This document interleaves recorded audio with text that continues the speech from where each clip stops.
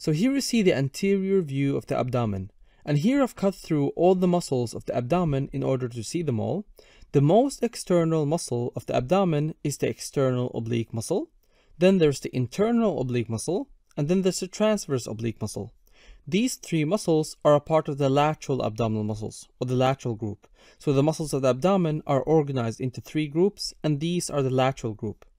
Then we have the rectus abdominis and a tiny muscle called the pyramidalis. These two are considered the anterior group of muscles.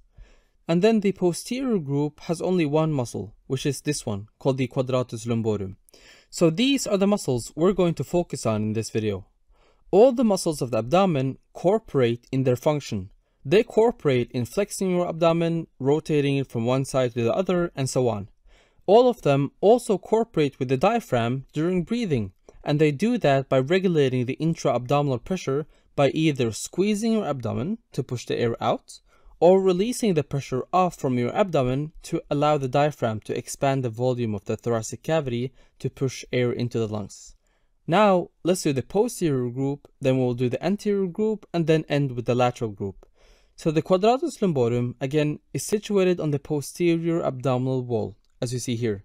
It originates from the iliac crest and the iliolumbar ligament, and it inserts at the 12th rib, as well as the costal process of L1 to L4 and its function is either extension of the trunk during bilateral contraction or lateral flexion of the trunk if only one side contracts. So that was this one. Now, the anterior group consists of two muscles.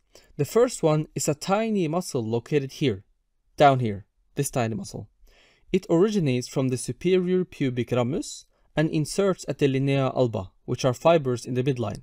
And its function is really just to tense the linea alba and strengthen the rectus sheath, which are tendons of the lateral group of muscles. So it helps to tense the tendons of the lateral abdominal muscles. The other anterior muscle of the abdomen is the rectus abdominis, as you see here. This one is going to originate from the xiphoid process and the costal cartilage of the 5th to 7th rib, and then is going to insert at the body of the pubis between the pubic symphysis and the pubic tubercle, as you see here. Its function is to ventrally flex the trunk, and it also increases the intra-abdominal pressure to push the diaphragm up and aid with expiration. So that's these. Then the last group is the lateral group of the abdomen. The first one is the transverse abdominal muscle. The transverse abdominal muscle is going to originate from a couple of structures located on the lateral and the posterior region of the body. So it's going to originate from the inguinal ligament and the iliac crest, as you see here. It's also going to originate from the thoracolumbar fascia, which is a fascia on the lumbar region, as you see here.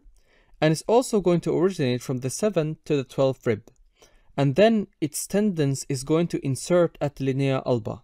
So its function is to rotate the trunk and also increase the intra-abdominal pressure to aid with expiration. Notice that the rectus abdominis run through the transverse abdominal muscle. That means that the upper part of the transverse abdominis lie behind the rectus muscle and its lower part lies in front of the rectus abdominis. So that was this one.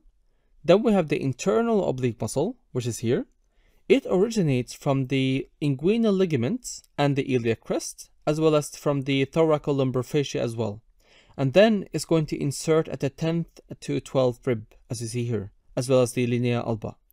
And its function is ventral flexion of the trunk, if both sides contract, or tilt the trunk to the side if only one side contracts. It's also going to adjust the intra-abdominal pressure and aid with expiration by pushing your diaphragm upwards.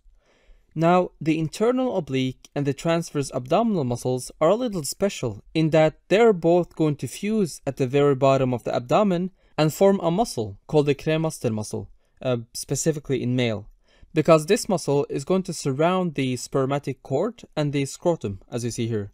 And this is actually the main reason why the testes are able to regulate its temperature Whenever it's cold outside, the cremaster muscle will contract and pull the testes towards the body to maintain its temperature. And when it's warm outside, well, then they will relax since they don't need the body temperature anymore. So that's these ones. The last muscle is the external oblique muscle. It originates from the 5th to the 12th rib, so back here, 5th to the 12th rib, and they insert at linea alba as well as the iliac crest. And its function is bilateral contraction will cause ventral flexion of the trunk, and unilateral contraction will tilt the trunk to the side. So that was all the muscles of the abdomen.